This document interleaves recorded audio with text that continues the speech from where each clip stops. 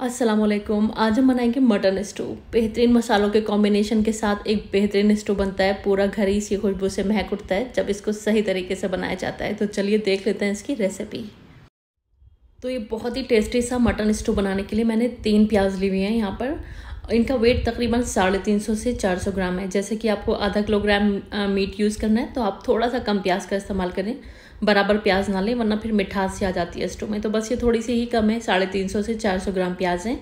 इसको हम चॉप कर लेंगे। बहुत फाइन चॉप नहीं किया है मैंने। अगर आप चिकन का स्टोव बना रहे हैं तो फिर आपको फाइन चॉप करना होगा, क्योंकि चिकन फिर जल्दी गल जाता है। अब यहाँ पर एक प्रेशर कुकर ले लेंगे और इसमें आधा कप तेल गरम कर लेंगे। अब कुछ साबुत गरम मसाले इसमें डाल देंगे। आधा टीस्पून काली मिर्च, एक टीस्पून सफ़ेद ज़ीरा, पाँच छोटी इलायची, चार पाँच लौंग, दो तीन तेज़ पत्ते एक बड़ी इलायची, एक जावित्री का फूल और एक दालचीनी का टुकड़ा। इन साबुत गर्म मसालों को तेल में डाल देंगे और हल्का सा क्रैकल कर लेंगे। अब इसमें हमने जो प्याज चॉप की हुई है, वो डाल देंगे। और प्याज को हमें मीडियम फ्लेम पर फ्राई कर लेना है। तब तक फ्राई कर लेंगे जब तक प्याज जो है ना थोड़ी सी सॉफ्ट नहीं हो जाती है। आप प्याज को थोड़ा सा सॉफ्ट करके स्टोव बनाएँ। आप देखेंगे बहुत ही अच्छी खुशबू आएगी आपके स्टोव में। तो जब इस तरह से हल्की सी गुलाबी हो जाएगी प्याज, आधा किलोग्राम इसमें मटन शामिल कर देंगे। अब ये एक टेबल स्पून भर के मैंने लहसुन है, जिसको कि चॉप करके इस्तेमाल किया है और एक टेबल स्पून अदरक है, इसको भी फाइन चॉप कर लिया है। तीन चार मैंने साबुत लाल मिर्च डाली हुई हैं। आप टेस्ट के हिसाब से डालिएगा और एक टेबल स्पून डालेंगे इसमें कुटा हुआ साबुत धनिया। धनिया को थोड़ा सा कूट कर इस्तेमाल करिएगा। साथ ही में इसमें एक टीस्पून नमक डाल देंगे या फिर टेस्ट के हिसाब से डालिएगा और एक चौथाई चम्मच इसमें हल्दी का पाउडर डाल देंगे। थोड़ी सी हल्दी डालेंगे, लेकिन बस डालिएगा।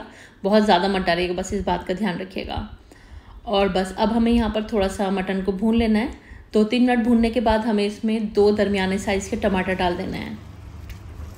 और अब अच्छी तरह से इसको हम दो तीन मिनट के लिए और भून लेंगे। अभी हम इसको बहुत ज़्यादा नहीं भूनेंगे। जब हम इसको प्रेशर कुक कर लेंगे, उसके बाद इसको अच्छे से भूनेंगे। एक चौथाई कप इसमें दही भी डाल देंगे।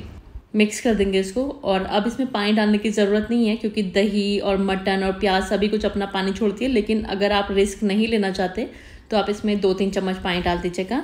अब हम इसमें प्रेशर कुकर की लिड लगा देंगे और हाई फ्लेम पर एक प्रेशर आने का वेट कर लेंगे। उसके बाद गैस की फ्लेम को धीमा कर देंगे और लो फ्लेम पर तकरीबन दस मिनट के लिए इसको पका लेंगे। जब इसका प्रेशर खुद से निकल जाएगा, हमें गैस की फ्लेम को फिर से ऑन कर देना है और अब हाई फ्लेम पर हमें इसको खूब अच्छे से भून लेना है। तो सात आठ मिनट के लिए खूब अच्छे से भून लेंगे या फिर जब तक भून लीजिए, जब तक जो इसमें पानी दिखाई दे रहा है वो ड्राई नहीं हो जाता है। तो यहाँ पर आप देख सकते हैं, यहाँ पर जो हमारा स्टू है, खूब अच्छे से भुन चुका है। और इस तरह का एक ज़बरदस्त सा इसका टेक्सचर आ चुका है।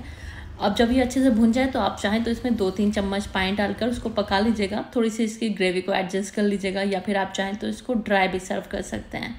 अब हम इसमें हरी मिर्च और हरे धनिया के पत्ते डाल देंगे, जिससे कि टेस्ट और खुशबू बढ़ जाती है। मिला देंगे इसको।